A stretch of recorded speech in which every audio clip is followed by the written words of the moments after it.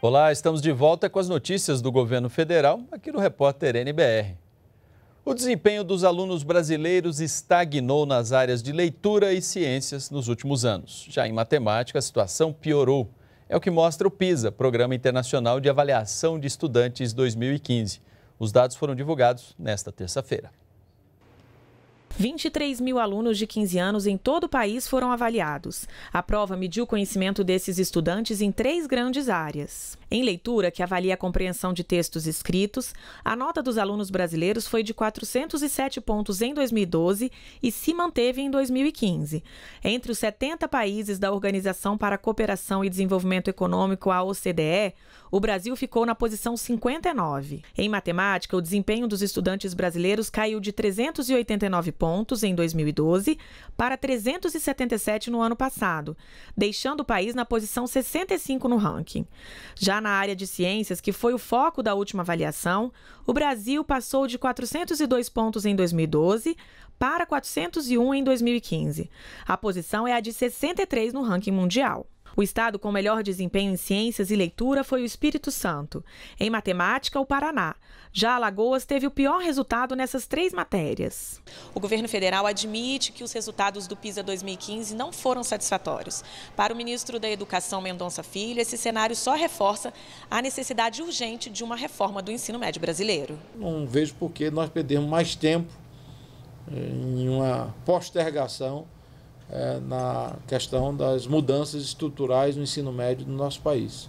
Por isso que eu pedi hoje de manhã pressa ao presidente Rodrigo Maia para que ele possa colocar em votação nesta semana, ou no máximo na próxima, é, a MP do ensino médio. O ministro defende que são necessárias outras ações para melhorar a educação no Brasil, como investir na formação de professores, na alfabetização e no ensino fundamental. Ele afirma ainda que o orçamento da educação triplicou nos últimos 12 anos, mas mesmo assim não houve resultado efetivo. Você não tem a eficácia do investimento transformando o investimento em desempenho. Quer dizer, você aumentou o investimento sem que aquilo pudesse ser traduzido como melhora e evolução de desempenho no campo educacional, que mostra claramente que você tem que fazer com que é, cada centavo investido na área da educação seja melhor qualificado e que possa ser traduzido por avanços em termos de qualidade para o jovem e para a criança na educação básica brasileira. Agora vamos falar sobre ensino superior. O Ministério da Educação prorrogou o prazo de inscrição para vagas remanescentes do FIES, o Fundo de Financiamento Estudantil. Pode participar quem fez o Enem a partir de 2010, com média geral mínima de 450 pontos e nota na redação que não seja zero. É necessário comprovar ainda a renda familiar bruta de até três salários mínimos. O prazo para se inscrever termina na sexta-feira. Outras informações pelo telefone que aparece aí no seu vídeo, 0800 61 61 61. E cerca de 600 mil micro e pequenas empresas do Simples Nacional devem 21 bilhões de reais à Receita Federal. Mas agora os pequenos empresários têm uma chance de quitar essas dívidas. A repórter Natália Mello tem as informações. Para incentivar micro e pequenas empresas a começarem em 2017 sem dívidas tributárias, um mutirão de renegociação está sendo realizado em todo o país. O presidente do Sebrae conversa com a gente sobre essa campanha. Presidente, quem pode participar dessa renegociação? Todas as micro e pequenas empresas que estão em débito com a Receita Federal. São 600 mil empresas que foram notificadas que, se não pagarem seus débitos, estarão fora do Simples. Com a renegociação, que prazo esse pequeno empresário vai ter para pagar as dívidas? Excepcionalmente, será um prazo de 120 meses para poder quitá-las. O que ganha o empresário com a quitação dessas dívidas? O direito de continuar no simples, porque quem sai do simples não aguenta ficar no complicado que é o sistema tributário normal do Brasil. E quem quiser participar, como faz? É, procure o seu contador, procure o Sebrae, tem o 0800, que é o 0800 570 0800, para receber todas as informações e entrar também no hot site do Sebrae. Ok, presidente, muito obrigada pelas suas informações. Lembrando que as empresas que não renegociarem suas dívidas até o começo do ano que vem estão fora do Simples Nacional. De Brasília, Natália Mello. 360 milhões de reais vão ajudar a Santa Casa de São Paulo a reorganizar as finanças e continuar com atendimento à população.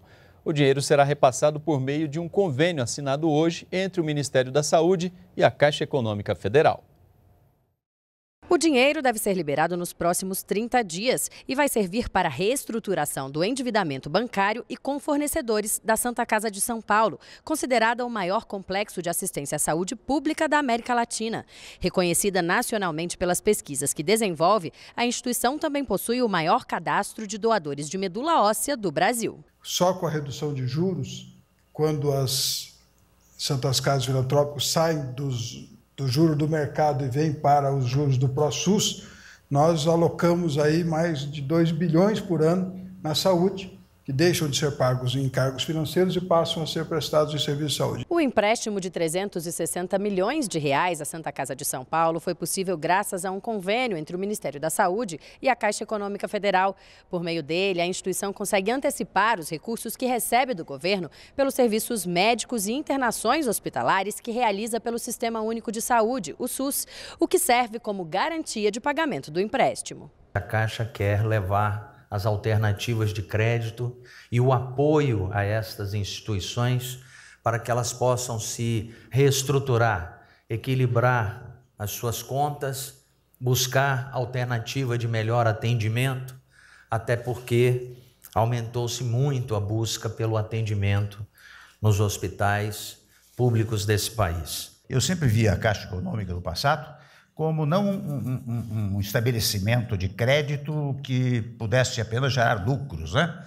É, o dividendos. A Caixa Econômica, para mim, na minha imagem, na imagem de todos, a Caixa Econômica Federal tinha sempre uma função social. Eu mesmo espero, mais uma vez, que isso se reproduza com as várias santas casas no país. E assim termina esta edição do Repórter NBR. Acompanhe as novidades também pelas nossas redes sociais e continue com a gente na NBR, a TV do Governo Federal.